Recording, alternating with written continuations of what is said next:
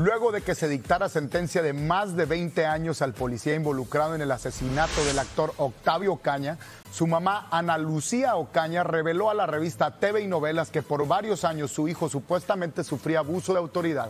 Así lo dijo. Todo el tiempo la policía lo estuvo extorsionando, lo pararon varias veces y le quitaron su dinero cuando acababa de cobrar. Él ya estaba harto de eso. Llegó el momento en que dijo, si la policía me quiere volver a parar, ya no lo voy a hacer porque solo es para quitarme el dinero. Y así, no, y así fue, Octavio no se paró. Recordemos que el 29 de octubre del 2021 el actor protagonizó una persecución policíaca que, que ahí fue donde pues, perdió la vida. ¿no? Qué tremenda historia, está muy truculenta. Y inventaron que él se había suicidado, que él se había dado un balazo con esa pistola y todo parece indicar que no fue así. Así es que para esa familia pues es una pena que no van a superar jamás. Y triste que, que, que México esté así, abusado que ya vienen próximos cambios, abusados por quien va a votar. Exactamente. Póngase pila.